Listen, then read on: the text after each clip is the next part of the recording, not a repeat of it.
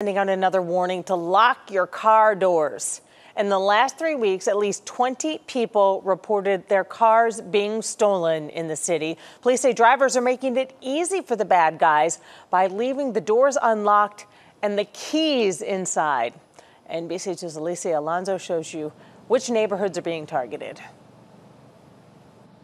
Yeah, I've spoke to a couple people who live in this neighborhood who say they've been seeing a lot more police patrolling the area after those 20 some cars have been reported stolen. Officers say that drivers are really making it easy for criminals to take these cars by leaving the doors unlocked.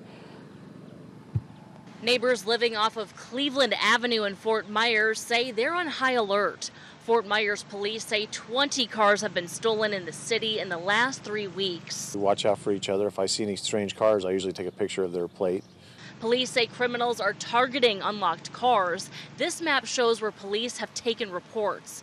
But investigators say it's more than just leaving your car unlocked. Understand that if you're leaving your vehicle with the keys uh, inside, uh, you may, that may be a crime of opportunity for those who are waiting for that to happen.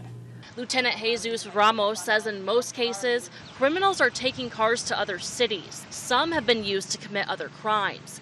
It's why he's asking drivers to lock up and remember to take your keys with you. It seems like every day we have more and more distractions in our lives, one thing or another. And try to make every effort to remind yourself to please don't leave the keys inside the car. Right now, there are no known suspects. Neighbors say their cameras are on and recording. It's not going to leave anything unlocked. It's too tempting for people, and uh, you just have to be safe. Just have to be careful. All